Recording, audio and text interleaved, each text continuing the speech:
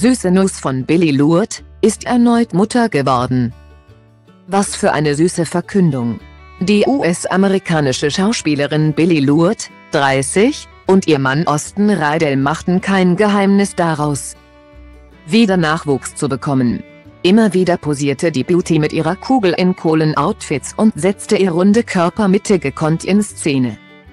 Doch Babybauchbilder wird es sowohl erstmal nicht mehr geben. Denn Billys zweites Baby hat das Licht der Welt erblickt. Tatsächlich wurde das nicht von den Eltern bestätigt, sondern von Billys Vater. Also dem Opa des Neugeborenen, Brian Lourd.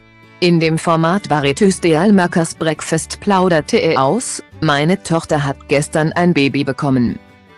Er selbst sei auch schon im Krankenhaus gewesen und konnte das kleine Wesen wohl kennenlernen.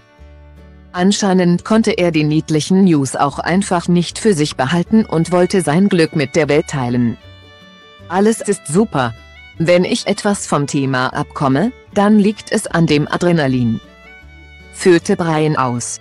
Weder Billy noch Osten meldeten sich bisher zu den Baby-News. Wahrscheinlich genießen sie erst einmal die Kennenlernzeit mit ihrem Wunder.